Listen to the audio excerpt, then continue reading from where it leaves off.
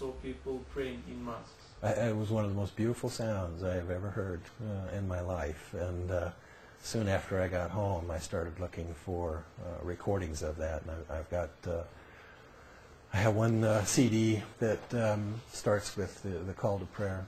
Uh, and then there are recitations from the, the Quran that, that follow it. Um, so aesthetically, I thought it was very, very beautiful, very pleasing. Um, the, the people in, in prayer, to me,